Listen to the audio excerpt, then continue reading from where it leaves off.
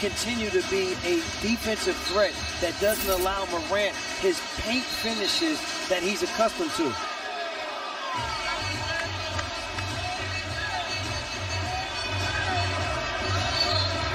And the Knicks eavesdropping on the Grizzlies huddle, which the Grizzlies did not much care for.